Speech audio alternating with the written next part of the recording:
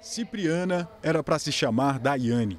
Ela nasceu prematura no Hospital Geral de Goiânia.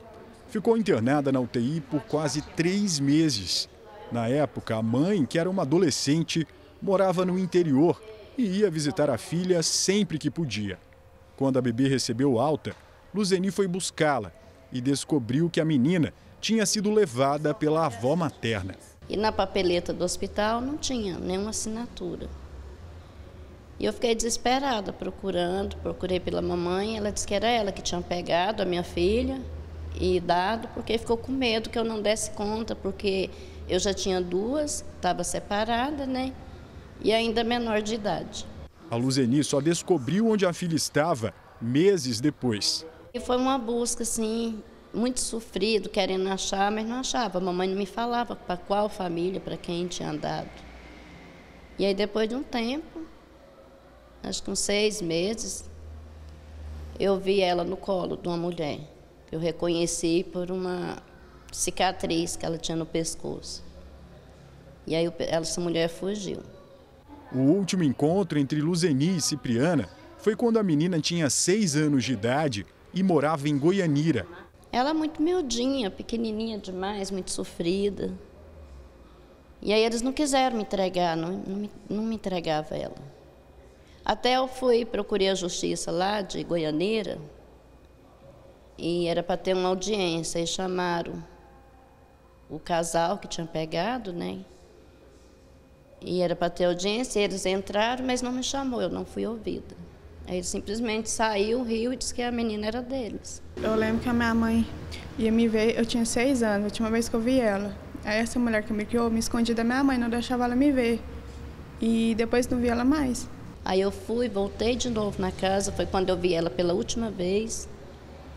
Aí eu peguei na mãozinha dela e falei para ela meu nome e onde eu morava, que era Goiânia, setor Pedro Ludovico, que ela ia ficar maior de idade para ela me procurar.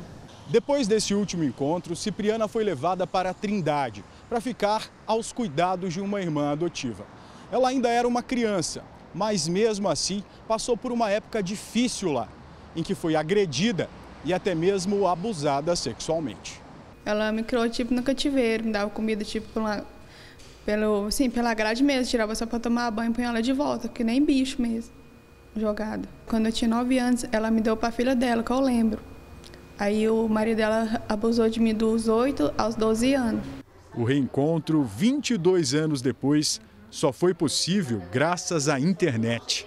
Eu comecei a procurar ela no Face, mas eu não tinha o sobrenome dela.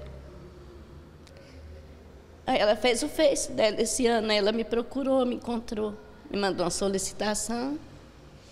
Eu achei ela muito parecida comigo, né? E perguntei de onde ela era.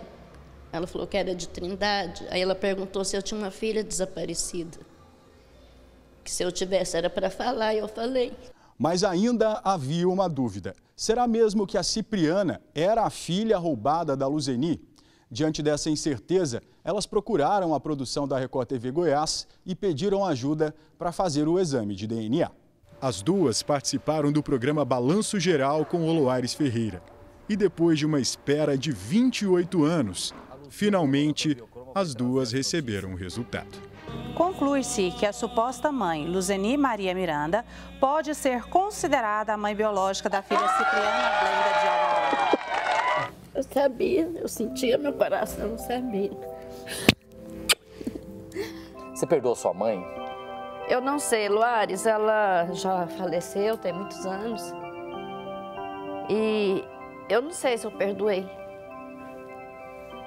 Porque por mais que ela tenha feito assim para que fosse para me ajudar, com medo de eu não conseguir cuidar, né, de mais uma filha que eu já tinha duas, ela não tinha o direito